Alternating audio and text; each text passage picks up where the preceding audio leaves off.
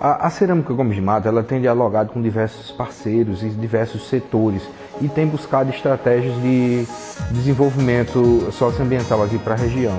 Dentre esses parceiros nós destacamos a, a ONG Aquases, que trabalha com o manejo do soldadinho do Araripe e que tem apoiado nossas ações. A visitação dos observadores de aves que andam aqui na região é acontecendo justamente na área que não podia acontecer dentro dessa unidade de conservação. Então, a gente tentou encontrar uma forma de transferir essa atividade para um local que tivesse o mesmo potencial. Próximo a essa área dessa zona intangível da floresta, existe a fazenda Pau d'Arco, que é justamente da cerâmica, e nela nós encontramos o espaço para promover a atividade de observação de aves. O, o plano de manejo ele entra dentro de uma estratégia que a cerâmica teve há mais ou menos 7 a 8 anos, quando nós pensamos em mudar a nossa matriz energética, certo?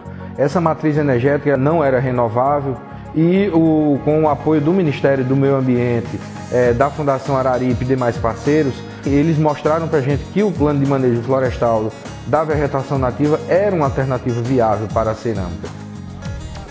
A cerâmica, é, quando ela deu início ao seu trabalho socioambiental, ela começou a perceber que o trabalho ele não, não se restringia só a estar dentro da empresa. Percebendo que aqui há uma vertente muito grande da parte de esportes, principalmente o futebol, nós começamos a incentivar isso há mais ou menos uns cinco anos.